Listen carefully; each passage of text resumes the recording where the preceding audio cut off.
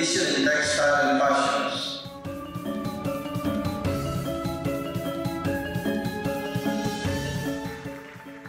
I am honored to be here, especially in this special night, as we celebrate the most important drivers of the Indonesian-Philippines relationship, and that is our strong people-to-people ties and cultural heritage.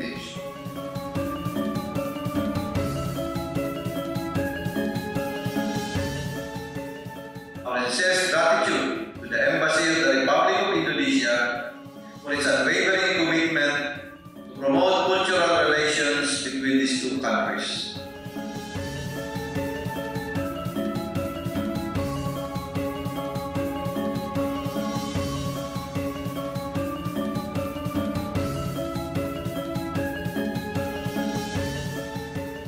It is noteworthy to mention that the tonight's event is another milestone in the diplomatic relations of Indonesia and the Philippines.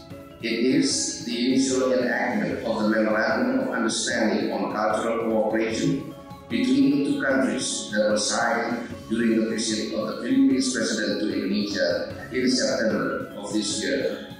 The signing of the MOU sets the tone on how both countries should strengthen the bridge that connects the people and leverage cultural diversity.